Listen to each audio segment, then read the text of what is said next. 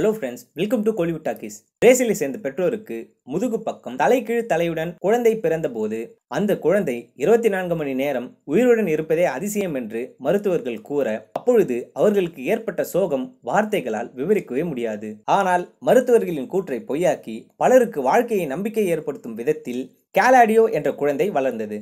இன்று நாற்பத்தி நான்கு வயது ஆணாக நிற்கிறது.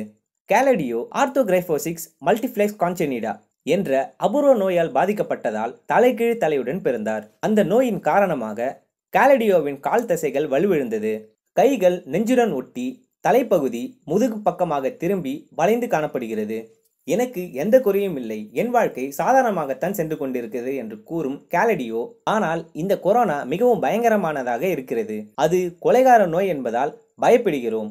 கடவுளே இந்த பொல்லாத நோயிடமிருந்து என்னை காப்பாற்று என்கிறார். தன் அன்பு தாயின் உதவியுடன் எழுதவும் படிக்கவும் கற்றுக்கொண்டிருக்கிறார் கேலடியோ. அவருக்கு பல பிரச்சனைகள் இருந்தாலும் பார்ப்பது சுவாசிப்பது சாப்பிடுவது குடிப்பது போன்ற விஷயங்களில் எந்த பிரச்சனைகளும் இல்லை என்பது நிச்சயம் அவர் பெற்றோர் செய்த புண்ணியத்தால் தான் இருக்கும். தனது நிலைமையை மற்றவர்களுக்கு உத்வேகம் அளிப்பதாக பயன்படுத்துகிறார் காலடியோ. தன்னை குறித்து ஒரு டிவிடி தயாரித்திருக்கிறார் சுயசரிதை எழுதியிருக்கிறார். அத்துடன் இரண்டாயிரம் ஆண்டு முதல் மற்றவர்களை உற்சாகப்படுத்தும் வகையில் உரையாடியும் வருகிறார் அவர்.